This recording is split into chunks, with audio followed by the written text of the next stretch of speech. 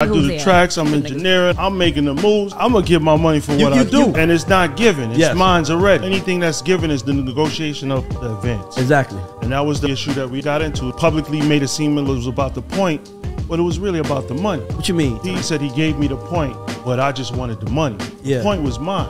I wanted a larger advance. He gave me 30. I wanted 50. He mm-hmm. had a 1000000 mm-hmm. So give me 50 grand, bro. That's 5%. bro. Exactly.